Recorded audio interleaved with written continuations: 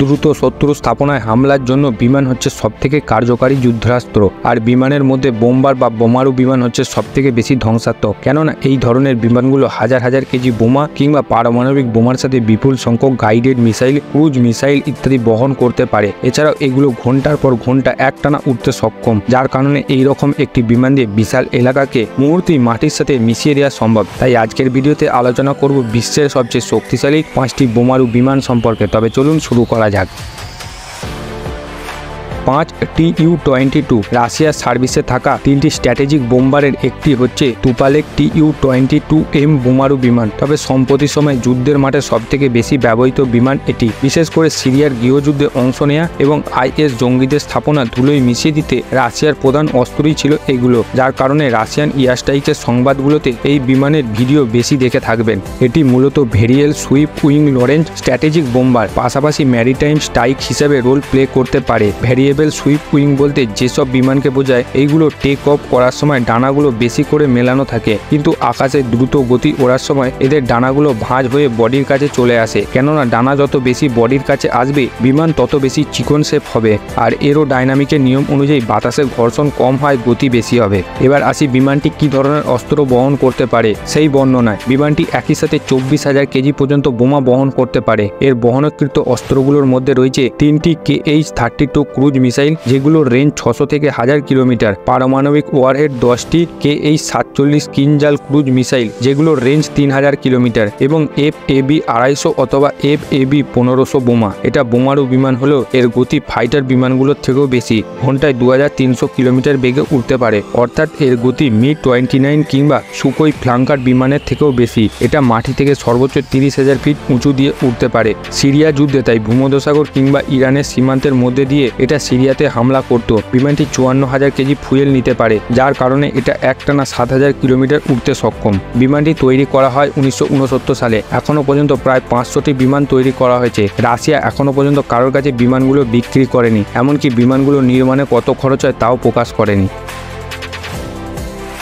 চার B fifty two স্ট্র্যাটোফরস্ট্রেস কেমন হয়? একটা বিমান যদি একবার উড়াল দিয়ে অর্ধেক পৃথিবী পার করে গিয়ে বম্বিং করে, আমাদের তালিকায় চতুর্থ নম্বরে থাকা American B fifty two Stratofortress বিমানটি তেমনই। কেননা, এটা একটানা চোদ্দ হাজার কিলোমিটার উঠতে পারে। অর্থাৎ টেক অফের পর পৃথিবীর যে কোনো স্থানে গিয়ে হামলা করতে সক্ষম। দানবীয় আকৃতির বিমানটি চালানোর জন্য আটটি টার্বোফ্যান ইঞ্জিনের দরকার হয়। দুই লাখ কুড়ি হাজার কেজি ওজন নিয়ে আকাশে উঠতে পারে বিমানটি। আর বোমা বহন করতে পারে একত্রিশ হাজার পাঁচশো কেজি। যার মধ্যে পারমাণবিক বোমাও রয়েছে। বিমানটির পেছনের অংশ একটি মেশিন গান আছে।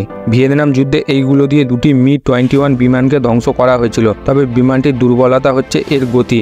ঘন্টায় এটা মাত্র হাজার সাতচল্লিশ কিলোমিটার বেগে উঠতে পারে। অর্থাৎ এটা একটি সাবসনিক গতির বিমান। উনিশশো সালে প্রথম আকাশে ওরা বিমানটির নির্মাতা বিখ্যাত বোয়িং কোম্পানি। এই সময় প্রতিটি বিমান তৈরিতে খরচ হয়েছিল চোদ্দ মিলিয়ন মার্কিন ডলার, যার বর্তমান বাজার মূল্য একশো চার মিলিয়ন মার্কিন ডলার বা আটশো বিরাশি কোটি টাকা। মোট সাতশো ধরনের বিমান তৈরি করেছে, যাদের অধিকাংশই এখন বিমানের কবরস্থান বা এয়ারক্যাপ বোন ইয়ার্ডে পড়ে আছে। আমেরিকান বিমান বাহিনী ছাড়াও গবেষণার কাজে নাসা এই বিমানগুলোকে ব্যবহার করে।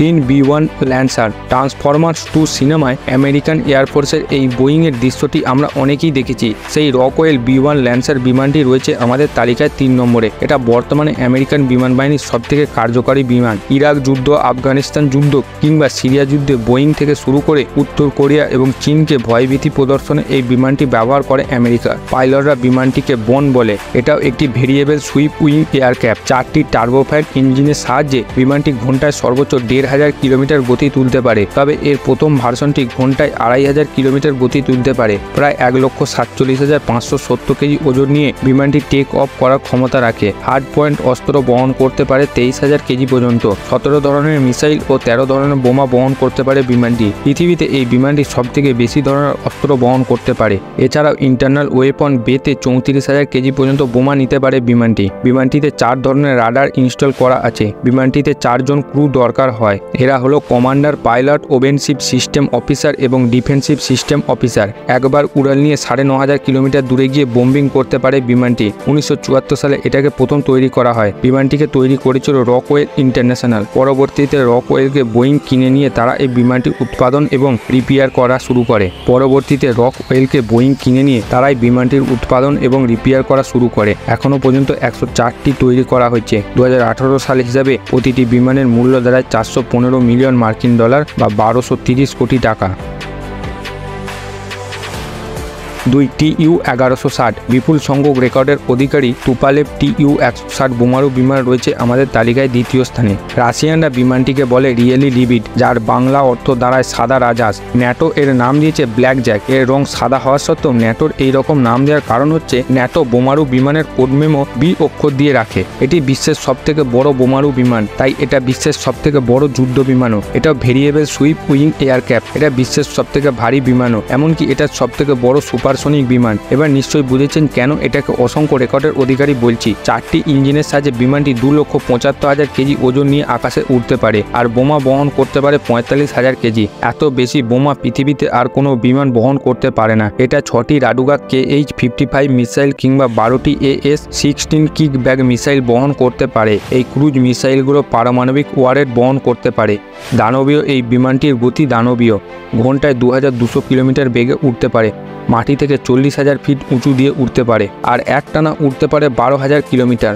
অর্থাৎ এটাও একবার উড়াল নিয়ে বিশ্বের যে কোনো স্থানে হামলার ক্ষমতা রাখে। বিমানটিতে চারজন ক্রু দরকার হয়। এরা হলেন পাইলট কো পাইলট বোমডিয়া এবং ডিফেন্সিভ সিস্টেম অফিসার। বিমানটি উনিশশো একাশি সালে তৈরি করা হলেও সার্ভিসে আসে উনিশশো সাতাশি সালে। মাত্র ছত্রিশটি ধরনের বিমান তৈরি করা হয়েছে।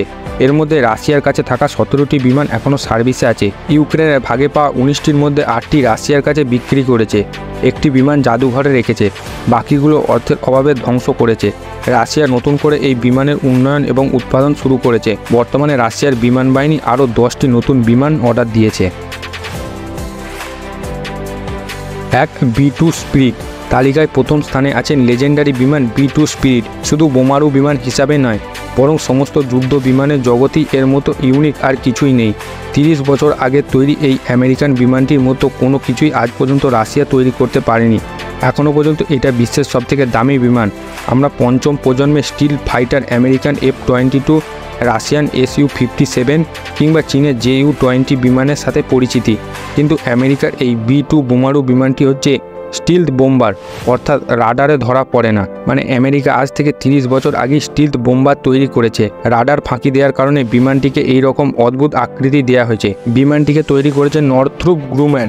পূর্বেই বলেছি, এটা বিশ্বের সবথেকে দামি বিমান। এক একটি বিমান তৈরি করতে খরচ হচ্ছে দুই বিলিয়ন ডলার। তাও আবার বিমানের এই খরচটা আশি দশকের। বর্তমান সময় হলে খরচটা আরও কয়েক গুণ বেশি হতো। এই কারণে আমেরিকা বিয়াল্লিশটি বিমান তৈরির পরিকল্পনা করলেও পরে মাত্র একুশটি বিমান তৈরি করে। এর মধ্যে একটি বিমান দু হাজার আট সালে ক্র্যাশ করে। কিন্তু এত খরচাপাতি করে কি থাকছে বিমানটিতে? এটা মূলত পারমাণবিক হামলার জন্য তৈরি করা হয়েছিল। তবে পারমাণবিক বোমা ছাড়া এটা সাধারণ বোমা বহন করতে পারে। সর্বোচ্চ তেইশ হাজার কেজি পর্যন্ত বোমা বহন করতে পারে বিমানটি। কেবলমাত্র পাঁচশো পাউন্ডের এম কে এইটটি টু বোমা বহন করতে পারে আশিটি। টিল্ড বিমানটি বোমা মেরে শত্রুর এয়ার ডিফেন্স ধ্বংস করতে পারে।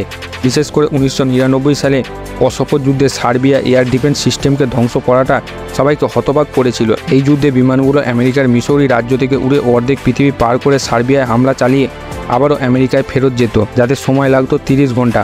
বোম্বিংয়ের এই রকম বিরল রেকর্ড পৃথিবীতে আর নেই। এছাড়াও ইরাক, আফগানিস্তান এবং লিবিয়া যুদ্ধ এটি ব্যবহৃত হয়েছে। ভিডিওটা যদি ভালো লাগে, তাহলে চ্যানেলটিকে সাবস্ক্রাইব করবেন। আপনার মূল্যবান সময় আমাকে দেবার জন্য অসংখ্য ধন্যবাদ। দেখা হবে আবার পরের কোনো ভিডিওতে। ততক্ষণ সবাই সুরক্ষিত থাকবেন, ভালো থাকবেন।